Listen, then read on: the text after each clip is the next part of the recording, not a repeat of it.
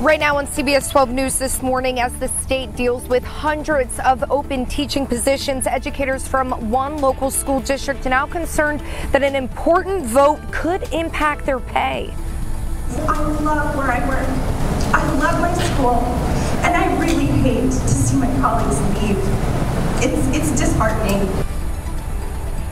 Coming up, the county's push to renew a property tax within the district that, if passed, would prevent this from happening.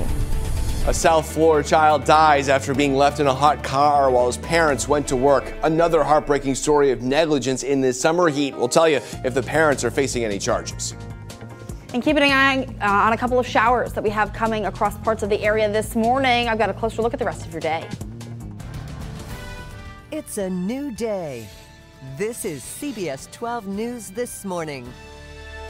Hello, welcome to CBS 12 News This Morning. I'm Matt Lincoln. And I'm Sam Kerrigan. Thanks so much for starting your Wednesday with us. Let's get a check on that forecast. We'll get right over to meteorologist Lauren Oleski. It's a nice looking sunrise behind you guys there. Skies mostly dry this morning. Excuse me. Keeping an eye though on some rain that's off the coast of northern Broward. That's slowly moving northwest into Boca right now. It's very small. it's one of those mornings, guys. Stand by. We're good. Okay, here's your hour by hour. That southeast wind is pulling a few clouds and showers along the coastline early this morning. Here's 3:30 this afternoon, thunderstorms then inland. Here's 5:15. We all have the chance to see rain today, especially if you live along the coast, but because we have a southeast wind, it's mostly going to be moving off towards the west. Of course, today will also be very hot. Temperatures are warming quickly. We are back in the upper 80s by 11 o'clock. Matt, Sam.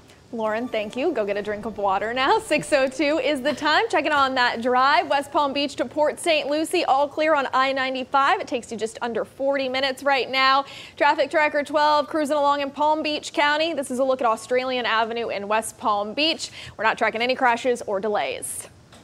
We are your teachers. We are your front line. Treat us with the dignity and respect we deserve.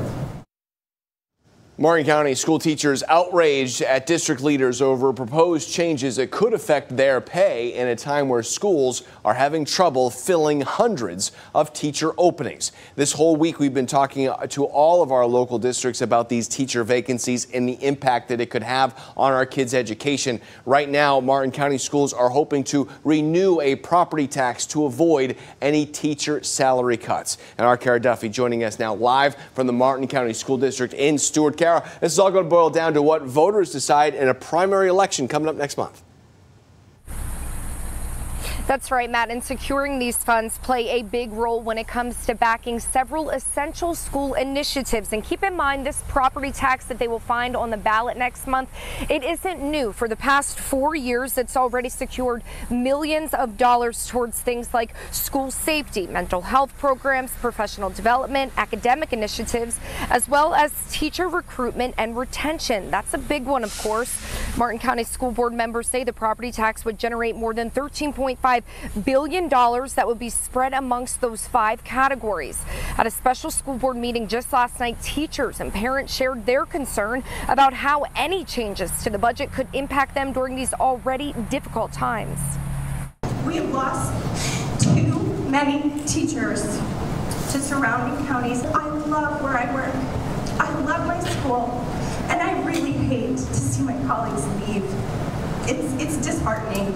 I cannot pay to live in this county. My rent was just raised $550. This is, this is what not getting paid enough looks like. And the level of frustration, anger, and stress is immense. Yeah, while school board members say they feel disheartened by their concerns, they did say that a majority of the budget breakdown as it stands right now would actually benefit teachers. If the tax is renewed by voters, leaders say they plan to allocate about $10 million for teacher salaries. Now, in the meantime, school board members will continue to work on how the funds will be broken down if the tax is approved. Keep in mind they will be voting on this next Tuesday. That's the breakdown of the more than $13 million. But again, it will then be up to voters voters during the primary election come next month. Matt, Sam, back to you.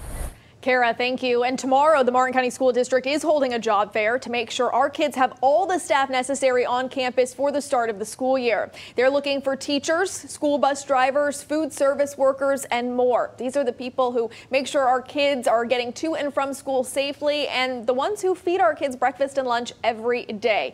All important roles that need to be filled here. The Director of Recruitment and Retention tells us some hours can be flexible to match your kid's school schedule. Teaching is one of those careers that you really truly are giving back, and I think people like that. Um, you also, as a teacher, can decide to work the shortened kind of that nine month work schedule, which is very appealing to some folks. But Another thing that's really appealing in Florida is that you could work that schedule, but then in the summer you might be able to be a scuba diving instructor or a, a, a camp coach or something like that.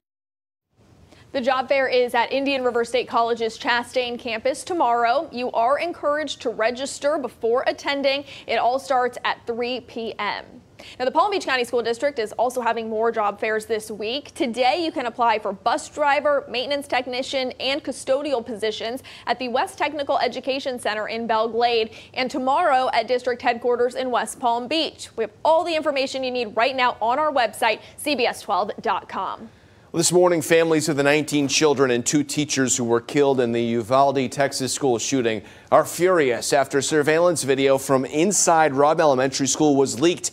They were supposed to see this video first this weekend before it was released publicly. The video shows officers waiting in the hallway for 77 minutes as the suspect attacked, and despite being armed with at least 13 rifles and ballistic shields. Now, we're going to warn you, a video you are about to see may be difficult to watch. Take a look. You see at the top of your screen, the shooter armed with an AR-15 style weapon enters the school. He walks down a hallway and now watch at the bottom of your screen when a young boy turns just around the corner as the shooter opens fire into the classroom. The fire goes on for two and a half minutes. Moments later, first police officers enter the school. They go down this hallway and approach the classroom, but don't enter. When more gunfire is heard, they retreat. For more than an hour, dozens of officers with rifles and shields are waiting in the hall. One even uses the hand sanitizer on the wall. More than an hour after the gunman entered the school, officers finally go down that hallway, breach the classroom door, and kill the shooter. Several parents spoke moments after saying the leaked video is unacceptable. I have to do this. I don't want to hear my children scream. I didn't want to hear the gunfire. That wasn't needed. That was unnecessary. We are the parents that lost our children. We're supposed to do this together first, not for the world. We're suffering, and I know the world is suffering too, but these were our babies. Our babies that were taken from us. So, to the person that leaked it, screw you. Investigators are expected to reveal preliminary findings of a report detailing the police response in the coming days.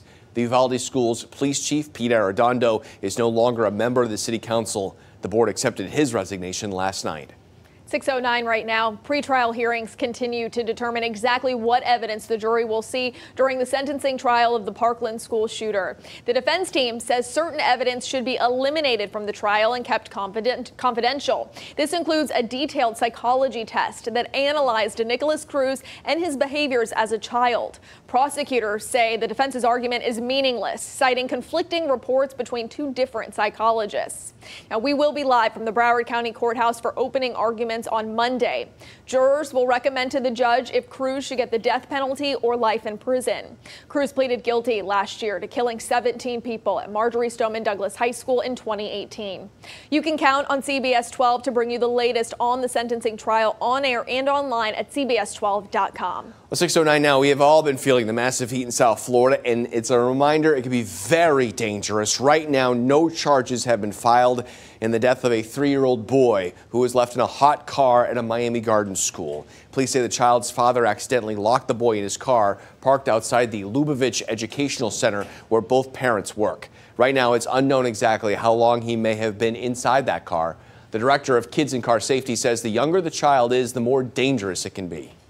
The younger the child, the less capable they are of regulating their own body temperature. So, an infant is going to overheat much quicker than a toddler. A toddler will overheat much quicker than uh, a teenager, and so forth. According to noheatstroke.org, there have been 10 hot car child deaths so far this year nationwide. So here's some reminders, you know, parents that can be really helpful here. Place a visual reminder in the front seat like a diaper bag or a stuffed animal, or you can also place an item that you can't start your day without in the back seat like a laptop or a phone and make it a habit of opening the back door every time you park to make sure no one is left behind. 611 right now. This morning, we're learning Palm Beach County commissioners voted to reduce the maximum rate used to calculate property taxes for next year. Mayor Robert Weinroth says homeowners with a home valued at $600,000 will save about 65 bucks. He says with the higher costs of pretty much everything right now, this should give some relief to homeowners in the county. I think it's important to show our, our residents that we understand their pain and we're going to uh, we're going to tighten our belt and make sure that we're giving them a little bit of relief. The county commission also gave preliminary approval to the sheriff's office budget, which is an increase of $42 million. Weinroth says this will be finalized when the county commission meets again in September. 611 now this morning, the city of West Palm Beach is dialing back the increases it made to the cost of parking downtown. We're learning city commission unanimously agreed to get rid of the 24-7 enforcement of parking rules after some pushback from business owners. Enforcement hours are now going to vary by zone. Before, parking rates were only enforced from 7 a.m. to 7 p.m. The fine for expired parking is also being lowered to $35, and the average cost to park for an hour will be $2.30. It is 612 right now. Bombshell revelations during another January 6th committee hearing, highlighting how former President Trump may have encouraged extremist groups to storm the Capitol. Ahead, the stunning accusation made about how Mr. Trump tried to interfere in the House investigation. And Amazon Prime Day, a prime opportunity for scammers to take advantage of people looking for deals. Before you go shopping today, you're going to want to hear how you can keep yourself from having your identity stolen. You're watching CBS 12 News this morning, the one to turn to.